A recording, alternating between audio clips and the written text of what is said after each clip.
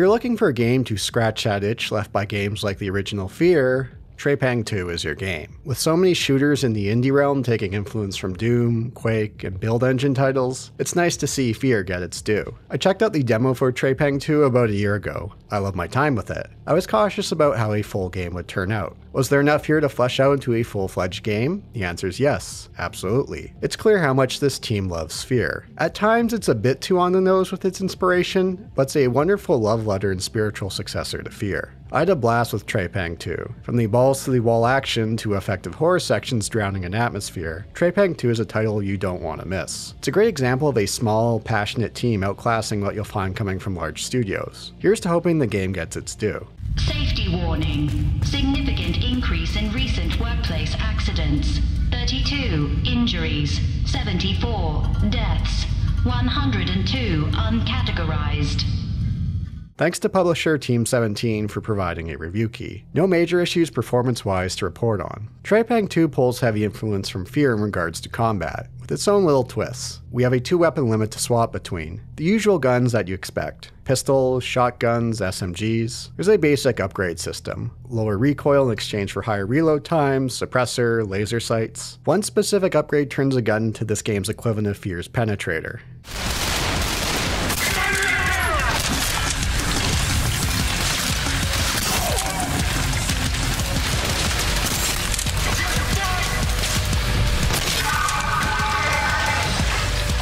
We'll find these throughout our excursions. Despite being a first person title, we'll have several options for our outfit. Trepang has a lot to live up to with Fear as its inspiration. The title I consider to have some of the better guns around, both from practicality and satisfaction of use.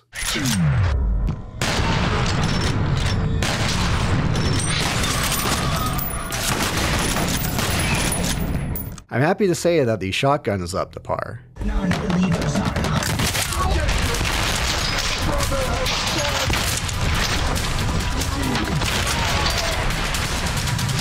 can also use melee strikes along with a jump and a slide kick. One core feature of Trepang 2 is the slide mechanic. Use it for dodging, moving around corners, get up close and personal with enemies. Use it for a kick or up close for a bullet to the head. It's very responsive. After a few minutes with it, you'll know your distances in regards to how far you could slide. We have a couple of options for powers in Trepang 2. Focus mode to slow things down and cloaking for a short period of time. Focus refills through kills, cloaking refills over time. Again, comparing to Fear, the combat moves at a more frantic pace. Using focus mode to slow things down is very helpful. It's hard to get a grip on enemies when moving at normal speed. At first, I wasn't sure about the addition of cloaking. If you want, you could use a suppressor and take out enemies one by one, which seems to go against the grain of what the game is going for. Instead, I use it to get the drop on enemies when beginning encounters. If you find yourself overwhelmed in a combat scenario, it's great to catch a breather. The further I got in, the more I found myself using cloak due to the difficulty. Get a breather, reload, and get back into the fold. One feature I loved was taking enemies hostage. I love the detail put into using the shotgun one handed while holding a hostage in the other. I loved attaching a grenade to a hostage and tossing the body for some laughs.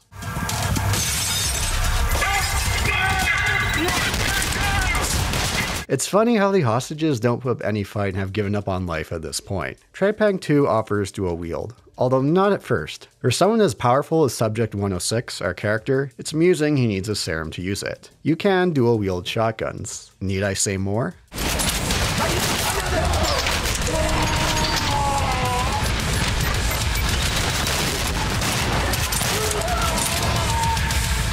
Fear had impeccable pacing of combat encounters. This was due to excellent environments with strong AI. Trepang 2 does a great job of living up to it. During the first level, I did have concerns the rest of the game was going to follow a bit too close with the industrial like settings. It ended up being nothing to worry about. Trepang 2 switches up the environments on the regular. Love homages to Fear, but enough to stand on their own. Some tight spaces, some more open. Combat arenas have many points of entrance and verticality. I wasn't expecting the game to live up to Fear's AI, and granted, few games can.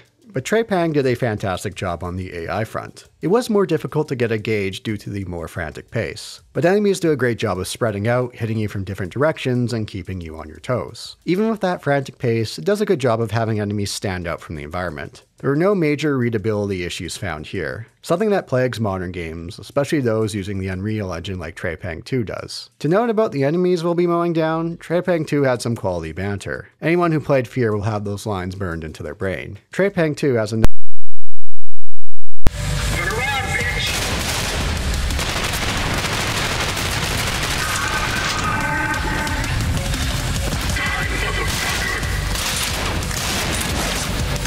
love this one screen some enemies would do while dying. Over the top and always makes me chuckle.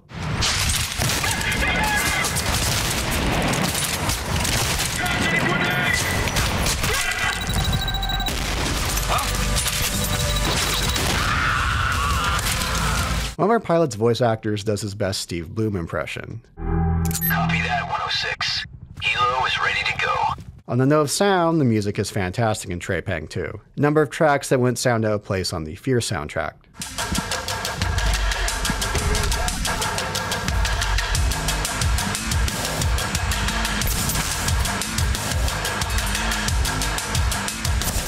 Although some get into the, for the lack of better term, chug chug Mick Gordon modern Doom style, which is fine, but I didn't find it as fitting here.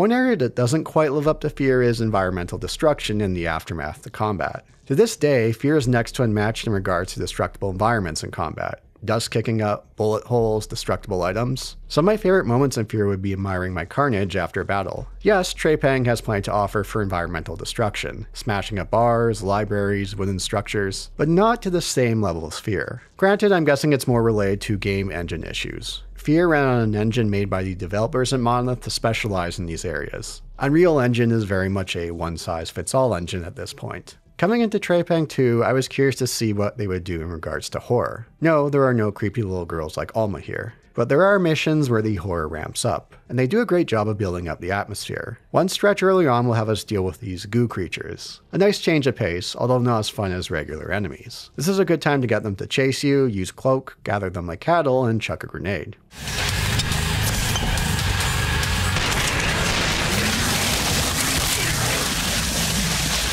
There is something during the fourth main mission that I'm still unsure what to make of. I'm not going to spoil it to you. You'll know when it happens. I'll only say Zoomers are going to play this section in utter fear. The mission starts to mess with you and the environment around you. In one area in which you end up in, I burst out laughing when it happened. I'm not sure if the developers were taking the piss here. It's only a short section, but something that felt like it had been better suited as an Easter egg, or a side mission, but not along the critical path. It did take me a bit of the experience for a time. In Trepang 2, we play as Subject 106. We're locked up by the Horizon Corporation. With no memories of what's going on, we break out of a black site and team up with Task Force 27. From there, we have a selection of missions of various black sites and Horizon corporate hotspots. There are missions along the critical path along with side missions. The side missions tend to be holding off waves of enemies, but there's plenty of fun due to how strong the combat system is.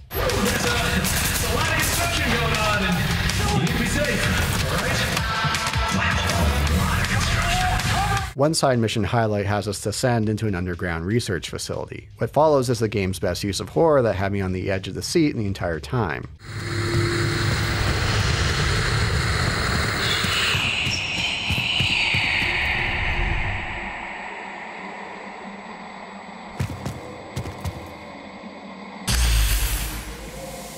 Another great feature is the combat simulator. Back at base, you could select combat environments found in the campaign to revisit through wave-based combat. It adds to the already high replayability of Trepang 2. You could even unlock cheats by meeting the criteria of completing missions on certain difficulties. Things that were a blast from the past, like big head mode and squeaky voices.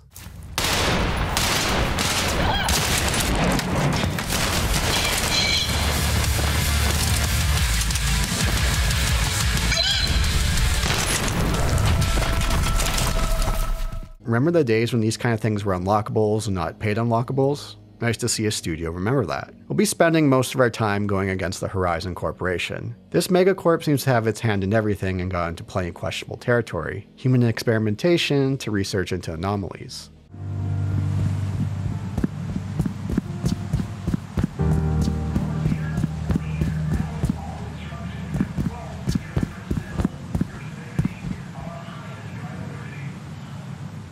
There are cultists as well, and there's lots of talk about us, Subject 106, in regards to breaking the cycle.